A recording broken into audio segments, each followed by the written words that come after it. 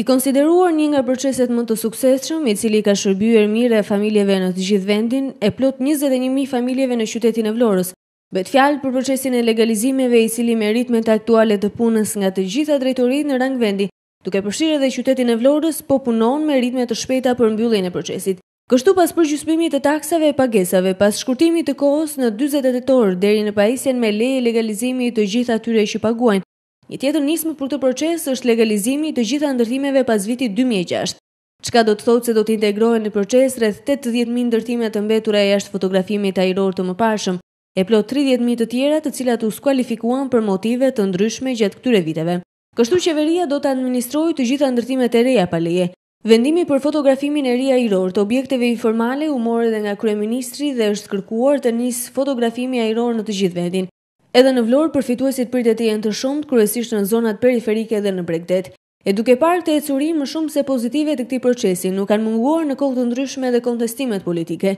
Duke nisur qysh herët në vitin 2005, kur socialistët nuk e votuan ligjin për legalizimin, i cili kaloi me votat e mazhorancës, e për të vijuar me sulmet politike të mëpasshme nga drejtuesit e opozitës. E me gjithë kontestimet thjesht dhe vetëm elektorale e politike, si pjesë e një nga projekteve që absolutisht i jep shpërblim politik të djathtës për shkak të mbështetjes së përhershme dhe mirecurisë së këtij procesi, drejtuesit e Aluiznit shprehen të bindur se i gjithë ky proces dhe legjitimimi i të gjitha objekteve informale do të mbyllet brenda këtij viti.